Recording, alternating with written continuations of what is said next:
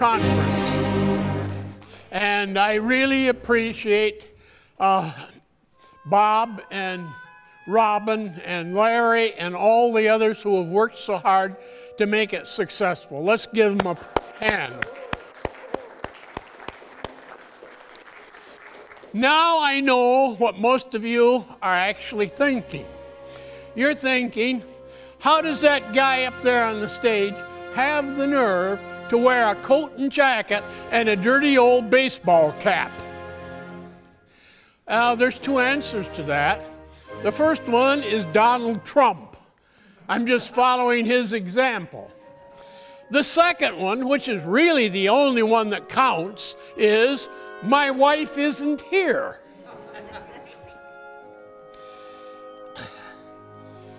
Today, I'm going to give you a peek, just a peek, at the typology of old copper culture artifacts, prehistoric American Indian copper artifacts.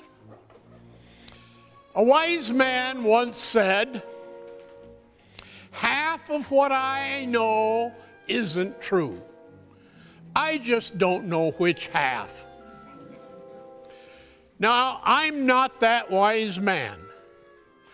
I'd say 60% of what I know isn't true. But it used to be 70%. Before that, it was 80%. So perhaps I'm gradually getting closer to the truth. Like Grandma used to say, there is a difference between wisdom and knowledge. Wisdom or knowledge is knowing that tomatoes are a fruit. Wisdom is not putting them in a fruit salad. Okay, let's have the first slide. All right, let's you and I, together with the old copper culture people, take a walk into the nearly forgotten past. Go ahead. And here we go. Go ahead. What you're looking at are nearly two dozen spear points that have been typed. There, each one is distinct, and it's a distinct type with its own name, its own class, its own description. Go ahead. Uh, typology is narrowly defined, or narrowly defined, typology is the study of types and a systematic classification of artifacts with common functions and characteristics into types. In a broader, more practical sense, typology is that part of taxonomy involving the taxonomic classification of whole copper artifacts, starting with kingdoms, families, kinds, division, genres, types, and varieties of types.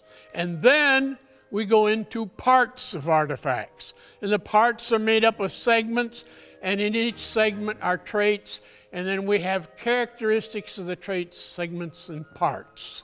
Okay? the projectile point division, for example, is divided into several genera arrowhead, atlatl heads, harpoons, spear points, darts, and so on. And today we're going to talk primarily about the spearheads. And a spearhead is a symmetrical right and left projectile point. The business end of a spear, attached to a long staff and used for hunting or war. Next. How old are American Indian copper artifacts? We think we know the age of some of the copper artifacts, but we're not nearly as sure uh, of most as we would like to be. We, uh, Dave talked yesterday about the early mining dates. I'm not going to go in that. He did an excellent job. We were all very interested. In addition to this, he had the uh, 92,000 years ago, we had an earlier spike. Go ahead. Uh, here we have uh, the Reardon artifacts, and I think those two points are right here. And uh, the interesting things about uh, thing about this is, in addition to the date and everything, that they had a direct carbon association. In other words, it was the wood in the shafts here that they dated. So we know that that wood belonged to that artifact. It was a part of that artifact and was roughly the same date as the artifact. Not only that, they had him sent to two different laboratories, and both came up with approximately the same age. So that's the, the best way of doing it. However, in many archaeological digs, you don't have that luxury. In many archaeological digs, you have no nothing directly associated with the copper that you find. If you're lucky, you might have an indirect carbon association, which means perhaps at the same level, five, ten feet away, is a fire pit with some charcoal in it. So you can date the charcoal and assume that the artifact is the same age as the charcoal. Next.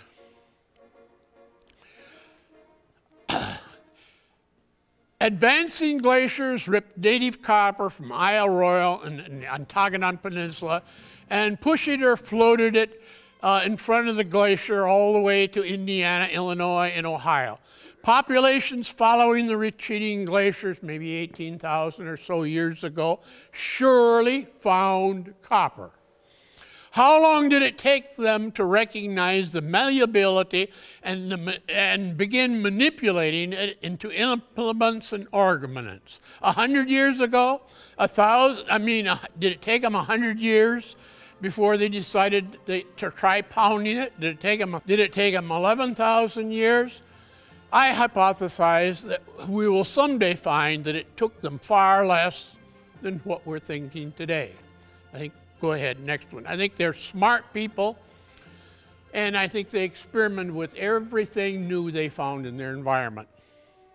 Here we have a timeline, and it's compared with the old world. Here's the time of Christ. Here is 500 BC classic Greece we studied in our history books. The pyramids, 3,000 years ago. 3,500 years ago, these are BC, not years ago, BC. We had Otzi the Iceman. And then 9,000 years ago, we had uh, the cave paintings and perhaps cavemen. And then uh, the, the end of the Ice Age.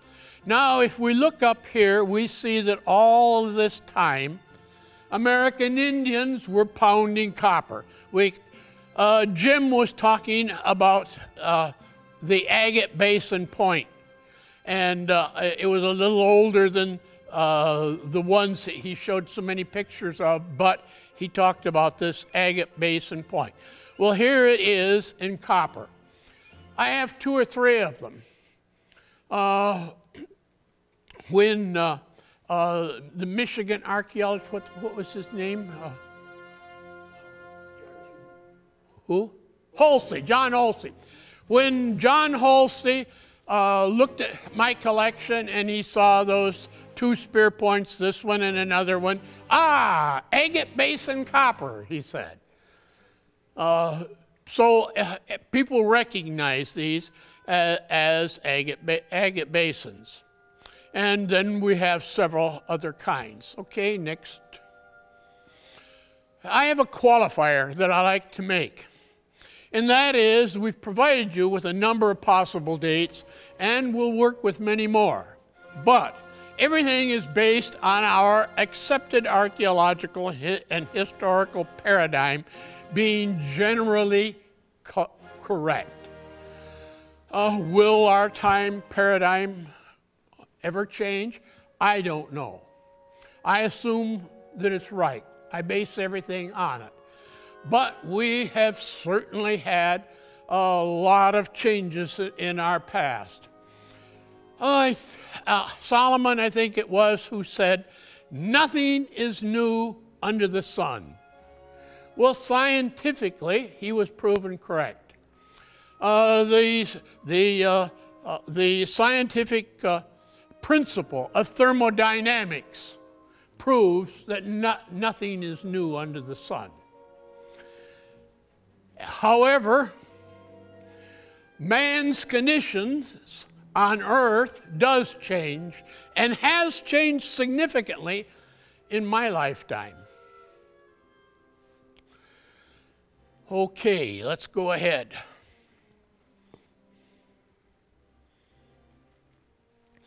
Prehistoric copper finds. It's my hypothesis. I have no real proof, but in my studying of this, I've come to conclude that these early surface finds were maybe are somewhere around 15%. And those are the ones that people found when they were following their horses in the fields, uh, or people were digging ditches or building buildings or any of the other industrialization of America. Then archaeology came into its own and it started uh, doing professional archaeological digs of uh, old copper culture cemeteries, and there were a number of them. My guess is that it's less than 1% of the total copper artifacts that have been recovered to date. Detecting, that's been growing and growing faster and faster ever since the 1980s, and I would suggest that it's perhaps 85% today, and probably will will get to be far more than that. As this figure goes up, these two figures will go down.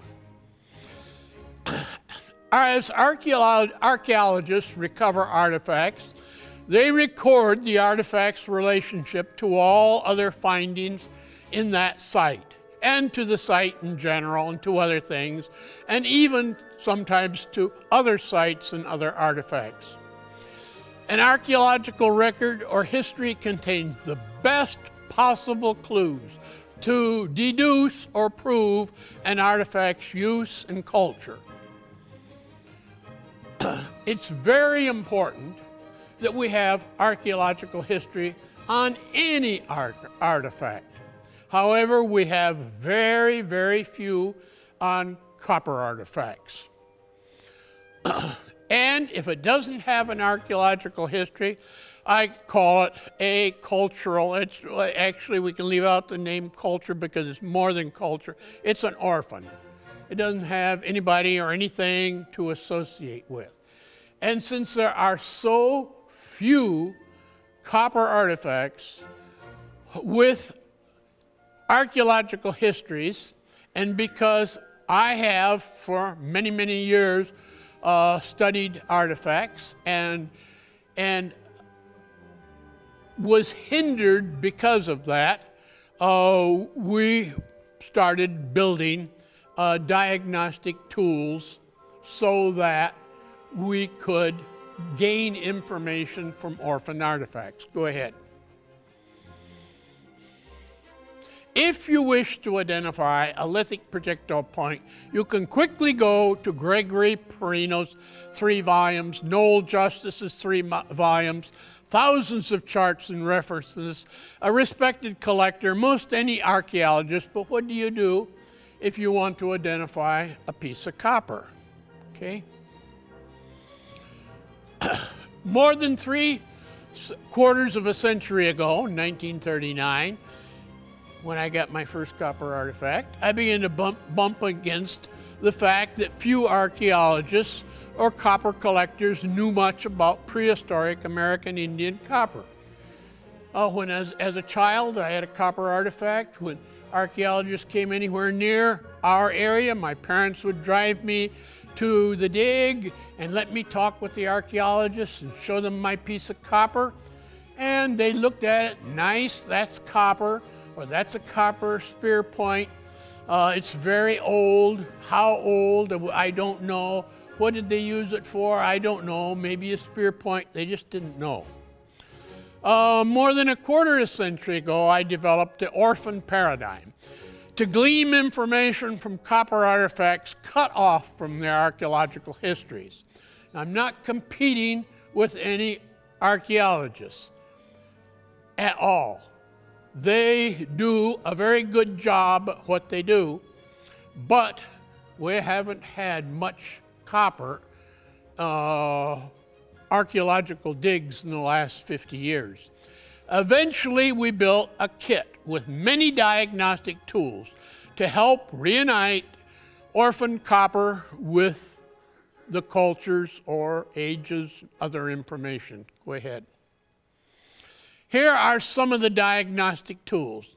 Taxonomy, cultural tags, historical markers, which include nine categories of patination, five stages of oxidation, seven patterns of erosion, uh, creation marks, tool marks, treatment marks, metal reaction marks, decorations, uh, activity marks, break marks, use marks, wear marks, and so on.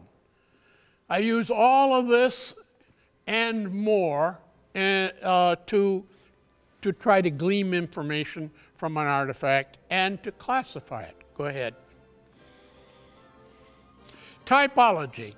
The use of taxon taxonomy, nomenclature, and other scientific tools that we just mentioned to classify copper artifacts. The primary taxonomic classes are kingdoms, and under that, families within the kingdoms, kinds within the families, division within the kinds, genres within the division, types uh, within the genres, and the types all have their varieties. And we have to have a name for every class, a name for every specific artifact, so we can point it out and say of this artifact by name what it is. And if anybody wants to, they can look up and find a complete description of that artifact that makes it different from all other artifacts ever created, except those that are more or less identical to it, except for the fact that each one handmade is slightly different. And for different work tasks, they have different varieties. Okay? Here we have it. Every artifact in the world falls in, into these three kingdoms plant, animal, and mineral. You know it from childhood. And the kingdoms are made up of families. And we could have a list of dozens and dozens and dozens, perhaps hundreds of families. The one we're interested in is the copper family. We're interested in the metal kingdom, and the copper family is one of the metal kingdoms. Uh, and the, the, the uh, copper family is made up of kinds tool kind, ornamental kind, weapon kind, modified copper kind. Since uh, we're talking about spearheads today, and its spearheads are identified as weapon kind, even though they were used for hunting and many other things. They have to be something, we've called them weapon kind.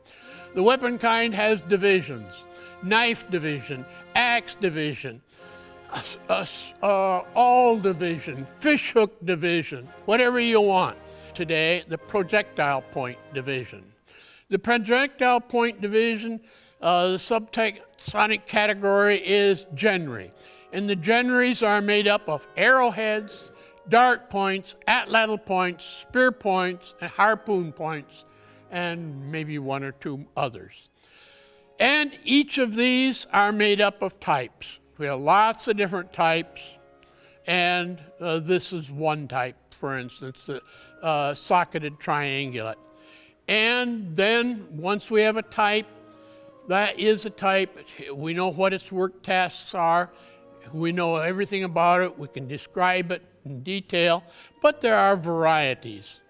A pinhole variety, a step variety, a barb variety, and, and other varieties. And the varieties are based primarily on varieties of work tasks. Okay? Next, after we've got all of our uh, classes, then we take an artifact and we break it into its parts. And with a spear point, we break it into two parts the blade part and the tang part. Now, the blade part has segments, and the tang part has segments. Here are all of the segments, maybe not all of them, but here are a bunch of segments that are blade point segments. Here are tang segments. Next. Once we have something classified and we can say we know what we're talking about, uh, a straight back knife, for instance, and, and we can recognize that wherever we find it, then we can go to sites that archaeologists have professionally uh, excavated and where each artifact has a archaeological history and we can see at least in the Reigh site uh, what artifacts came up and what cultures they assigned them to. From that, we can tell a little bit more about our orphaned copper artifact. We can see where it falls. We can't say for sure it's that culture, but probably it is. We still don't know the location or the, the exact date because some of the copper artifact types apparently were made for thousands of years. Same type over and over and over. Uh, I'd like to uh, go over this briefly. Uh, glacial Kame, red ochre, and old copper culture are three overlapping middle late archaic uh, complexes. This is what Martin says. And red ochre complexes perhaps are related to the old copper culture. Reigh, Oconto, and to a lesser extent Osceola are linked to the glacial claim, Kame, excuse me. And in my type, typology research tends to support the observations of Martin, uh, who most archaeologists agree with. And uh, we have uh, that, here's the footnote for where that's found. Next. All right, here are some examples. These are, we call them spear points. And what do we call a spear point? A spear point is symmetrical, right to left. Now that doesn't mean it didn't have other work tasks and it doesn't mean that it wasn't used as a knife or a dagger. I'm sure that they were from time to time. But until uh, we see evidence of their use for something else, we call them uh, spear points. This is the barb. Do you see the barb on either side? This is serrated. See the serrations? This is a turkey tail. See how much like the lithic turkey tail. This is a swallow tail. This is the ace of spades. Now let's go and look at some different kinds of ace or types of ace of spades or varieties of the ace of spade type. Go ahead. Uh, you can see the bevels on both sides. That's one of the traits. You can't see it on many of them. Maybe you can see it here or here, but that's, and we got the name uh, Ace of Spades uh, from one of the uh, uh sites where they were discovered. Uh, go to the next slide. Here are four related old copper culture flat tang types an oval flat tang, a pinhole flat tang, a diamond flat tang, a pummel flat tang. You see the pummel on it? And this one, some of you who have collected or are your archaeologists, uh, you may have never seen one like this. And you might say to yourself, well, I doubt that that's an American Indian. That might be something else. Uh, however, we'll take a, a, closer look at this type. Next slide. Here's one that, that came from the Field Museum in Chicago. Uh, here's one that uh, uh Flasker uh, discusses and, and uh, drew a picture of. Here's one that West described. Here's one that Baldwin pictured in the Redskins in 1978. Uh, Here's one that the Smithsonian has. However, I'm a little doubtful about this one. Maybe I'll change my mind, but right now I'm on the side of thinking that this might be Luristan or something else, misidentified by the seller and also misidentified by the Smithsonian. We think sometimes that because something is a museum, well, that's it. That has the hallmark of authority and knowledge and everything else. But a lot of times museums uh, don't know as much as, as some of the archaeologists out in the field know, usually they don't. Uh, also, we talked about the old surface finds made by farmers and other people, and there were old collectors who collected these, and they and they used to put them in what they called their cabinets. They are copper cabinets, and a lot of times they were uh, someone of uh, note in their community. They had little money or a lot of money. They competed each, with each other for their best copper cabinets. They wanted the biggest and the best pieces. And uh, not only did they go out and collect them themselves in the fields, but if somebody brought them to them, that was a sure money way that that person could make a little money. Uh, if he brought in a big, huge, nice piece of copper, he might get $5 for it. Uh, but they collected uh, most of the best ones. At any rate, many of those are now in the museums. That's where primarily the museum collections came from. So the museum collections sometimes have, uh, they might even have fakes, but more likely they might have foreign pieces, and that's what I'm suspecting about this Smithsonian foreign piece. And by the way, a couple of years ago, the curator of the Smithsonian copper collection contacted me and asked me if I would, they sent me a picture of everything they had, hundreds of pieces, and asked me if I would comment on uh, the, various pieces. They said they'd like to get, they'd like to show them online. Uh, and so I made comments about a number of them and sent them to them. Okay, next. Four related rat tails. Okay, this is a long rat tail. A long rat tail is, at, the tail is at least as long and very often longer than the blade. Short rat tail. The blade is always longer than the tail. Oval rat tail. Diamond rat tail. Next. Here are some uh, very rare to common pieces. This is one of the rarest points out there, and it's a coiled tang. Anybody in this room ever see one of these? Okay, nobody. But it's a, it is, it's in, in a collection. I know where it is. I know who, who owns it, and, and that person has a huge collection, and he's had it for many, many years. And uh, uh, this is a, a barbed hopewell probably related to this pine tree. And uh, they are rare, but not very rare like this one. The pine tree is somewhat rare, and that's also hopewell. They're found mostly in Michigan, but occasionally in Wisconsin, possibly other places.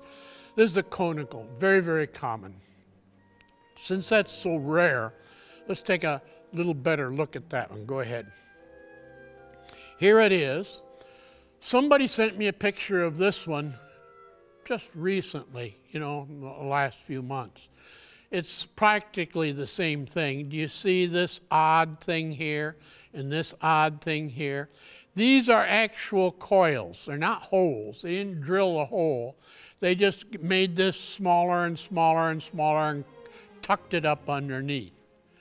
So I only know of these two. I'm sure there must be more. If anybody ever sees one, I hope you, you help me uh, uh, get in contact with the person that has it. However, here's one that we have that has this, the same traits. You see this thing here? Well, it's repeated here, just in a different place. They've taken these coils and moved them up there. And instead of having a dagger or spear point, it has a round point, and we think that's a hairpin. It's 9 and 5 eighths inches long. This is 11, and that's 6. So this is American Indian, and it is out there. Oh, we have here where these came from. Uh, this, uh, I think this is Indiana, uh, and this is attributed to Spiro Mound. Go ahead. Okay, socketed points. There are several so kinds of, or types of socketed points. This is the socketed ovate type, the socketed triangulate type, uh, conical socketed, uh, or excuse me, the conical triangulate. These two are, are definitely related. And then we have the socketed bevel. See the bevel? They have sock they have bevels on both sides. This one you can see better because of the lighting.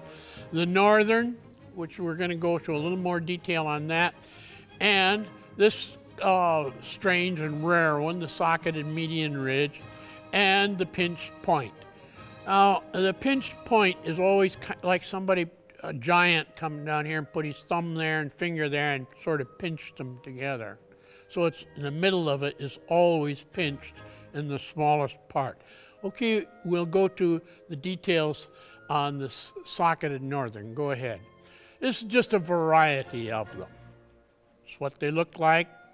Uh, they're, uh, and they, we could go into the various varieties of the socketed nor northern, but the most common variety of all the socketed points are those with a step and those without a step. And let me explain that a little bit here. Those without a step, it'd be the same plane all the way down. Those with a step, we come down this far and we step down. Do you see that step? And the purpose of it is so that a spear point, excuse me, a shaft is stuck in there and it bumps up against that step. And when you throw that into something, uh, this step uh, absorbs the shock and stops the uh, shaft from jumping forward and spreading the sockets and losing the point. And you can imagine what would happen if you're facing a bear and you throw this spear at the bear and the shaft shoots up into here, these flanges spread, and you lose your, your spear point all you got left is a wooden shaft, and here comes the bear, angry as angry can be. Next. This is the face median uh, ridge, and uh, you can see everyone has that face median ridge. Some have steps, some have pinholes. Uh, this one does not have a step, so there's at least two varieties. Next. Here are some early uh, copper spear point types. This is the side notch that's archaic, and this is a transitional from uh, archaic to paleo, we think possibly, we're not 100% sure. It's also probably transitional from a lanceolate point to a point with a tang. This is the lanceolate point. It's all blade, no tang. This is, a, another uh, transitional, uh, du the double point. It's not really a point, it's a tang, really. And, and this is the agate basin that we've talked about. This is my, one of mine. And uh, it's also called the McClary Point by Jack Steinbring. And this is uh, a Hell Gap type point. Ali uh, Atiyah uh, had that, I believe and that's what he called it. He wrote articles about it. This is a, a Plainview. It looks very much like a paint Plainview. Uh, someone found that near my home, about four or five miles from my home, Coopersville, Michigan, along the Grandville, uh, Grand River, brought it to me. We wanted to know if it, what it, if it was copper, what it was, and so on. That's the best I could come up with. Then he sent it to Ali, and Ali came up with the same uh, analysis that I did. Next. Here is the fluted point. Now, I know some of you taking a deep sigh there and saying, What's going on here? Well, that that's out there somewhere. I don't know where. I know that it was sold in an auction house and uh, it sold for an awful lot of money, and I don't know who bought it. And since I haven't heard anything since then, I suspect that it's probably a counterfeit. But if anybody knows, or in the future anybody knows uh, who has this, I wish they'd put them in contact with me. I would like to see it so that I can come to a better conclusion. Now, I'm going to go to a different type of projectile point, just briefly. go ahead. Oh, uh, first, there's uh, exceptions to the, I told you they're symmetrical. There are exceptions to the symmetrical spear point type. Sometimes we can see blade edges used knife-like until it's deformed. So we know that it was used as a knife, not as a spear point. Sometimes we find the remains of leather fiber are wrapped around the tang or uh, leather or fibers wrapped around the tang uh, as a handle. So we know that it was used as a knife. Many spear points with long blades and narrow, sharp blade tips, median ridges show obvious dagger task characteristic, work task characteristics. Arrowheads, atlatl points, and some har harpoon heads are also symmetrical. So there we know they're definitely used in, as those things, but they are not spear points, but they're symmetrical. In order to classify things, you have to have rules. So you do the same thing over and over the same way. And if you find that uh, something's not working, you have to change the rule. Uh, but you have to be very careful. Out of 49 rules, rules 11 and 12 are abbreviated are symmetrical blades are classified as projectile points. Asymmetrical uh, blades are classified, unsymmetrical blades or asymmetrical blades, I mean, are classified as knives. All projectile points except harpoons are classified as spear points until evidence indicates their use as arrowheads, atlatl points, etc. Okay, move along. Now, there, I'm, I'm not going, I'm only going to show you two or three slides here, but there are more harpoon types than there are spear point types. So many harpoon types. Believe me, they spent so much time fishing and they made so many types and varieties of types of harpoons. Now, these are uh, uh, interesting because the barb on this harpoon is at the end of the socket. That is the barb. That's an unusual barb. This was a normal spear point, but what they do, they put a chisel in here and they separated it. So this one has the barb chiseled into a normal blade, and this has a barb extended from a socket. Now, neither of those are accidents or anything like that. They're made that way. Go ahead. Uh, the barb blade harpoons. Here's a blade, here's a blade. These are all chiseled in there. That one broke off. Uh, this and here. This is the only one that's not socketed. But that is one type of harpoon. These are, and harpoons could, in, the, in a more general way, be classified as two types those that are permanently fastened on a long shaft, and those where the shaft is detachable as you are spearing, and they're called toggle head. Go ahead. now, here we have the socket. It's, it's not an accident. You may see one and think, well, there was an accident, something broke or something. But no, they made them that way. This group here are, have the barbed socket, and they all have blades. This group here are all conical or conical-like, and they have the, also the barb from the socket. Next. This is the way a uh, toggle head works. Here we have a detachable shaft that came clear back like this. We cut it off so we can get it in the picture. with the line fastened here. And when they, you spear the fish, This goes inside. When they pull on the line, once inside, it's like going in a buttonhole. And you pull on the line, it turns sideways, now it can never come out. And all you have to do is pull it in. And the line harness here, I've just tried to show you different ways a line harness can be made on various types of toggle heads.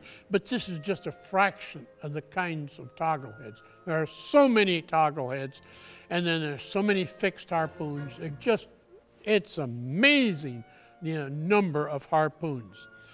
Uh, now I'm going to give you a little frosting on the cake and go to something else. And where's Jim's? Jim here? Why don't you look at this? Go ahead. Here he showed you one that was about 18. Well, uh, my pike is 17.5. So his, his may be a half inch longer. It's interesting. It has this L shape. Yours, I think yours does too, doesn't it, Jim? Yeah, I think they're, they're like twins. This L shape here, now that's significant. And then this is round, starting there, round, round, round, round, round, all the way up to here. And here it becomes square. You see this? It tells you that's if you cut it, that's what it would look like across there. If you cut that, it's square. Square, square, square, all the way to the chisel. And that is a chisel on the end. This is a side view of the chisel, a face view of the chisel. Now, what was this used for? People have given me uh, a lot of uh, possibilities, uh, but uh, most of them I think don't work very well.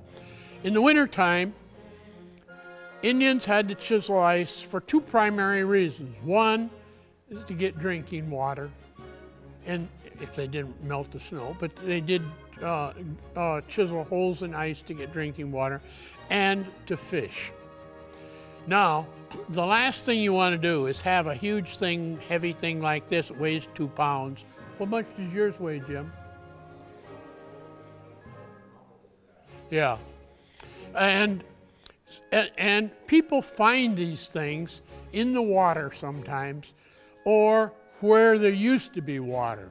And uh, if you're not careful, you know, you're chiseling hole in deep water and suddenly it comes out of the handle and you've lost it. So they decided to put this thing on it. So actually the wood, the handle come way back here and the wood would come all the way up, all the way up, all the way up to the square part. And it would be sandwiched between the wood and there would be a groove there and that would lay, this would lay in the groove and, and the other piece would come on top. Then they would uh, bind it, glue it and bind it. Then there's no way that that can pull out and, and the only way they're going to lose it if it slips out of their hands. Well, this is what it looks like here. It's a beautiful, beautiful piece. I call it the Tim Ashby Pike because Tim Ashby is the one that found it. And another piece of frosting on the cake. Go ahead. This is uh, one of my most rare pieces, and this is the copper saw. It's in the Redskins volume uh, uh, 13, number 4. And the teeth are, are chiseled probably with a, uh, a stone chisel, and it appears to have been used. What's interesting is if they'd left a point on here, there's always a danger of them stabbing themselves somehow or somebody else as they're using the saw. So just like modern saws, exactly, they made it square. Eight inches long, weighs uh, three and, and a fourth ounces, came from Marquette County, Wisconsin. And uh, wait just a second. Uh, uh, before I show you the last slide, after the last slide is shown, then if any of you have any questions, I'll answer them. Go ahead. And go ahead. Okay, any questions?